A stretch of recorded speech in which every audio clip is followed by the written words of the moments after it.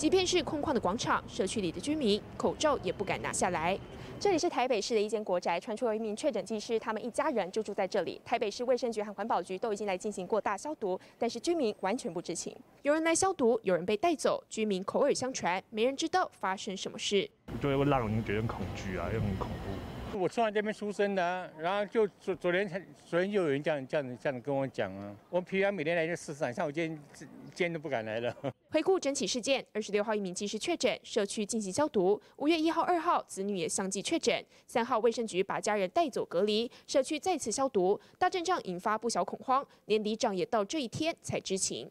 无时无刻都在接这个电话，知道这个事情发生之后拼拼凑凑啊。再加上指挥中心的公告，还有他们内动的委员，还有跟他们家平常互动比较密切的，我们去把它做个访视之后，就归纳回来。还要入境吗？嗯。